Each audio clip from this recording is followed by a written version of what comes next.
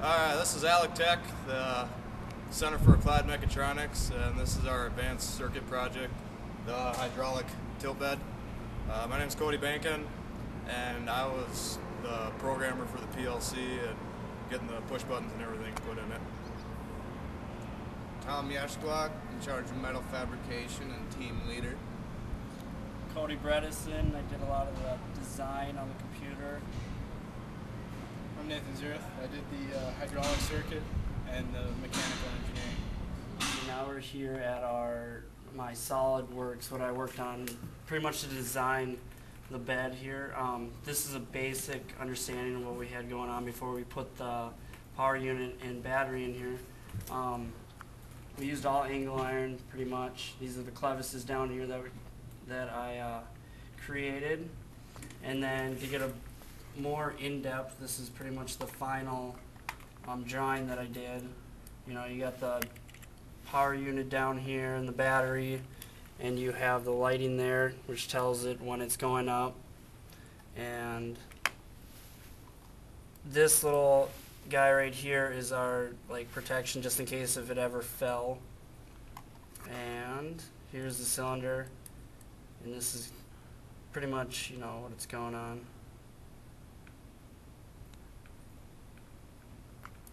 Okay, this is our electrical schematic of the bed. Right here is the E-stop, and then that sends power to everything like the reset push button and the alarm and the PLC, and then over here on the output side we got a orange light, a red light, the retract solenoid, and the starter solenoid. Then when we go in here to the Moeller program, it's just all my lines of ladder logic. There's uh, 19 different ones, and I did this in the EasySoft program. All right. Well, when we first started our design, we had to figure out. We we assumed we were going to have a 300 pound load out here at the ed- edge of the bed. That would be a worst case scenario.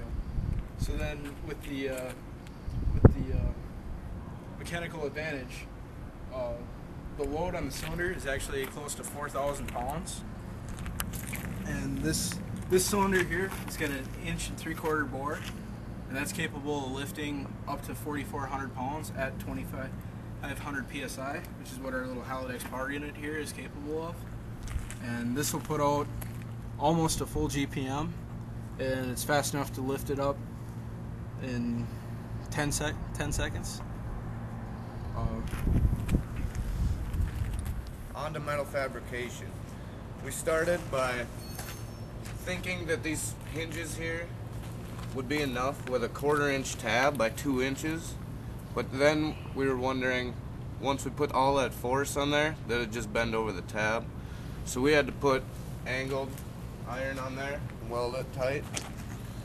And another problem we ran into was this angle here from the bed of the weight of the bed coming down on the box spring would bend this, so we had to strengthen that up. And then our little other design change was these two angles right here. For the force to come down on the cylinder, it would have bent the frame. So then we had these supports come together so that it wouldn't bend it. Also, we welded casters on here so it would be able to move. We used quarter inch by two and a half inch angle all the way on the top frame and the bottom frame. We got two inch by quarter tabs for finger safety in case you had your finger here, it would smash your hands. And then at last minute, we added a safety bar here in case you had to do something here with your pump or your program that your cylinder wouldn't kink. And then we added the stack light last. And now we're on to the presentation part of our project. Got our awesome assistant here, Mr. James Wildman. And how it works is, is you press this green button like the night before you go to bed, and it's got a timer set for seven hours or eight hours, however long you want to sleep. And you press that before you go to bed, and then you press it like this. And I scaled it down for presentation reasons, so it's only set for a 10 second timer right now.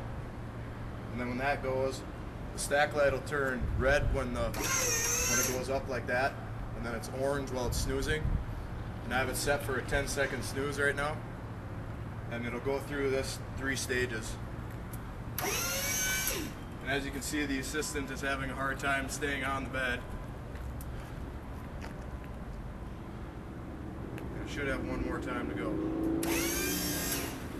And there he goes.